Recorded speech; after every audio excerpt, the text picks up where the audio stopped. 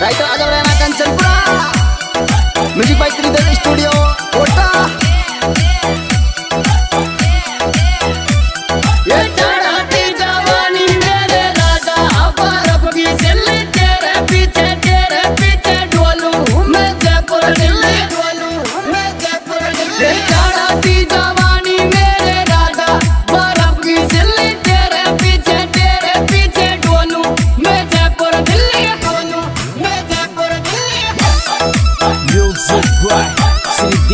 Recording Studio.